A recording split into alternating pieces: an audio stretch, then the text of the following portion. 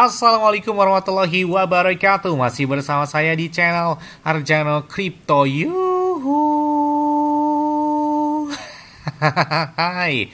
Why, apa kabar kalian hari ini? Semoga kalian hari ini luar biasa. Karena market lagi Biroris, wow wow. Sepertinya hari ini penurunan Bitcoin sempat lumayan dalam banget Di angka 60 ribuan dolar ya. Jadi turunnya lebih dari 5% dalam waktu 24 jam terakhirnya. Wow Oke, untuk mendapatkan uang tunai senilai 25 juta rupiah dan beberapa sekuritas seperti Bitcoin, Ethereum, Cardano, Solana, PPC, Babong, Dogecoin, dan banyak lagi, kalian bisa dapatkan cukup kalian lakukan registrasi langsung di link deskripsi video ini. Dan perlu kalian ketahui bahwa L-Bank itu enak banget pakainya, apalagi trade-nya itu hampir dikatakan tanpa biaya, jadi hampir dikatakan 0% buat perdagangannya. Wah, enak banget. Dan di sini juga banyak sekali beberapa altcoin serta meme coin yang masih baru-baru dengan kenaikan yang sangat signifikan banget. Bahkan hari ini di saat market lagi bearish di L-Bank, ada yang naik hingga puluhan persen ya, bahkan di atas 54 persen, 42 persen, dan banyak sekali beberapa altcoin serta meme coin yang masih baru-baru itu ada di semua dan listing di L-Bank ini. Wow,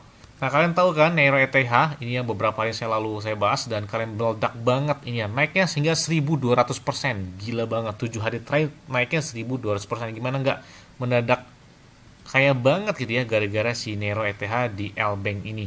Oke, seperti biasanya hari ini saya akan memberikan informasi terbaru dan terupdate tentang perkembangan cryptocurrency.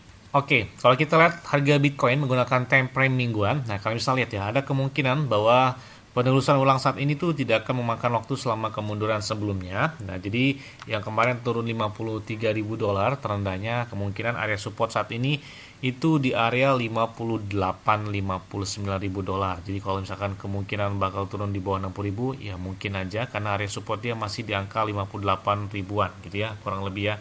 Jadi penelusuran ulang awal ini itu uh, dalam pola tersebut kalian bisa lihat yang warna lingkaran warna biru ini itu membutuhkan waktu hingga 5 minggu uh, untuk mencapai uh, titik terendahnya. Jadi setelah 5 minggu mereka koreksi kemudian juga naik lagi. Yang setelah itu membutuhkan waktu 4 minggu untuk mencapai titik terendahnya. Dan saat ini hanya membutuhkan waktu 2 hingga 3 minggu untuk mencapai titik terendahnya. Jadi konsolidasi ini semakin cepat ya artinya semakin baik untuk memasuki fase bull market ya yang mana diprediksikan di bulan September atau di bulan Oktober atau di kuartal ketiga dan kuartal keempat tahun 2024 ini. Makanya saya selalu katakan momen buy the dip itu adalah momen terbaik sebelum tahun 2025. Bahkan Bitcoin akan menelusuri kembali cukup dalam untuk meyakinkan uh, kalian bahwa bull market telah berakhir dan kemudian akan melanjutkan tren naiknya ya setelah bear market ini ya kita lihat aja nih. Ketika kenaikan Bitcoin mencapai ke angka 70.000 dolar ya di minggu ini juga kalau salah hari Minggu hari Senin ya kemarin ya Uh, yang mana kalian bisa lihat yang lingkaran warna biru ini ditolak dari atas struktur. Jadi kalian bisa lihat saat ini Bitcoin masih mengalami konsolidasi atau sideways jadi semakin dekat dan dekat ke dasar pola di mana pembalikan harga sebelumnya telah terjadi dengan terlalu menawar terjadi di area orange ini. Jadi area supportnya masih kencang di angka 57 58 ribu dolar dan tentu saja kalian perlu ingat pola ini gitu ya. Di setelah halving Bitcoin yang kedua tahun 2016, halving yang ketiga tahun 2020 dan halving keempat tahun 2024 ini kalian bisa lihat chartnya udah seperti tangga. Jadi memang setelah terjadinya halving Bitcoin, eh, Bitcoin di sini mengalami setway atau konsolidasi, begitu juga tahun 2020 dan tahun 2024 juga demikian mengalami setway yang cukup lumayan panjang, makanya diprediksikan di bulan September, Oktober, atau November ini bakal berakhir sebelum masuki fase bull market. Dan kalian bisa bayangkan, setelah halving Bitcoin, biasanya pemompaan Bitcoin itu hingga dua bahkan sampai dengan empat kali lipat pemompanya. Makanya momen buy the dip kayaknya baik-baik aja gitu ya. Apalagi kalau kita pomo pas lagi biris gini, jangan kebalik. Kadang-kadang kita lagi hijau malah pomo untuk melakukan entry, pas lagi merah gini malah takut-takut gimana gitu ya. Padahal kalau kita lihat well-well itu pergerakannya di saat lagi gini nih, wah mereka lakukan entry dengan jumlah yang sangat signifikan. Jadi pas lagi market hijau mereka udah tenang, bukan pas lagi langsung langsung beli ya, pas tapi pas lagi merah begini. Bayangkan market merah ini, wah kalian bisa lihat ya, 2,9 triliun dolar hilang dari saham ya. Pasar saham sepertinya runtuh banget.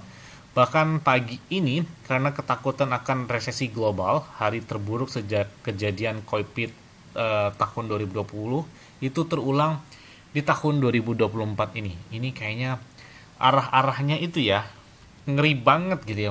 Apalagi gejolak e, di dunia ya. Kalian bisa lihat bahwa adanya terjadinya di Iran kemudian ada beberapa kejadian yang tidak terduga sehingga membuat gejolak negara itu beberapa negara agak sedikit panas. Nah ini mungkin ada kekhawatiran tersebut ya.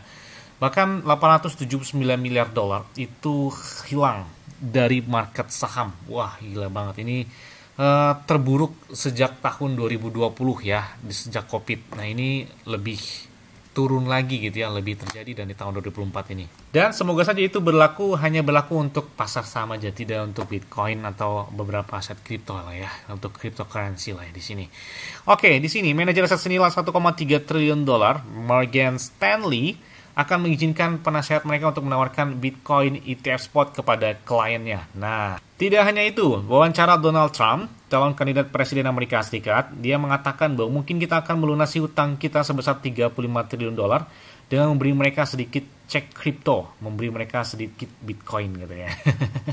Dan memang dia adalah salah satu kandidat presiden Amerika Serikat yang pro terhadap Bitcoin lah ya. Nah ini saya bilang wajah gejolak-gejolak yang membuat pasar lumayan cukup curam penurunannya ya. Ini dari TV Iran ya, pemerintah Iran katanya dia mengatakan dalam beberapa jam mendatang dunia akan menyaksikan pemandangan luar biasa dan perkembangan yang sangat penting. Nah ini yang dikhawatirkan sebenarnya. Apa bakal seperti apa atau seperti apa nggak ada yang tahu ya. Oke kita lihat aja. Apakah bakal terjadi perang atau seperti apa? Aduh mudah-mudahan sih jangan sampai terjadi lah ya. Aduh ini karena banyak kepanikan di sini ya.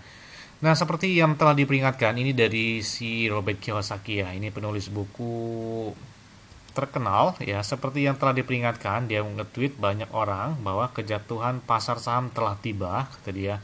Kerugiannya cukup besar. Nah, di sini pasar sedang ambruk, kabar baik, pasar aset sedang mengalami penjualan. Inilah giliran kalian untuk menjadi lebih kaya, dibilang di sini. Jadi, di saat market lagi gini, ya artinya artinya adalah untuk melakukan entry, jangan kebalik gitu.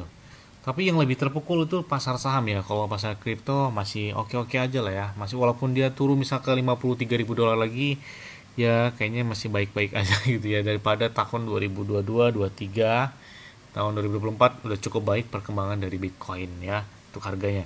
Oke, ini kita lihat beberapa informasi dari Shiba Inu token. Ini banyak banget yang update lagi bahwa harga Shiba Inu dapat melonjak lebih dari 700% jika Shiba Inu mencapai market cap-nya mirip seperti uh, Solana. Jadi kalau misalkan market cap Shiba Inu ini kita lihat bahwa uh, market cap dari si Solana itu 70 miliar dolar ya kemungkinan kita lihat bahwa saat ini Shiba masuk ke 8,5 uh, miliar dolar. Jadi kalau 75 bisa naiknya hingga 700 persenan dan ini kalau misal lihat bahwa Market cap dari Shiba Inu kalau naik 20 miliar dolar aja, ini saat ini di angka 0,3 0,2. Jadi kalau misalkan 0,5 20 miliar dolar kayaknya masih mungkin banget.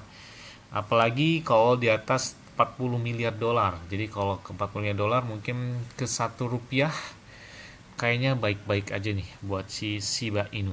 Dan di special anniversary ini perlu kalian ingat ya bahwa Shiba Inu adalah masih menjadi salah satu meme coin dengan kenaikan tertinggi sepanjang masa. Bayangkan dalam 4 tahun terakhir, dalam 4 tahun ini anniversary yang keempat karena mereka didirikan sejak di bulan Agustus tahun 2020 oleh Ryoshi yang mana dia adalah anonim, seorang anonim yang mirip seperti penemu dari Bitcoin lah, kurang lebih seperti itu. Jadi dia tiba-tiba ada, kemudian hilang. Hilang tuh sejak di tahun 2022 atau 23 saya lupa ya. Pokoknya 2022 sih kayaknya ya waktu akun twitternya itu udah nggak ada gitu ya. Jadi hilang pemilik dari si Bayo Token jadi sama e, ceritanya mirip seperti pendiri Bitcoin lah ya, kurang lebih seperti itu. Nah di sini pemompan si Bainu tuh nggak ada yang bisa melupakan sejarahnya, apalagi kalau melakukan entry e, dari kuartal pertama di bulan Februari, bulan Maret, di tahun 2021 dan puncak tertingginya itu di bulan Oktober atau November lupa saya di tahun 2021 kayaknya udah baik-baik banget udah kipas-kipas aja gitu ya. Saya nggak nyangka juga bisa seperti ini gara-gara si Shiba Inu token makanya saya bersyukur banget alhamdulillah banget.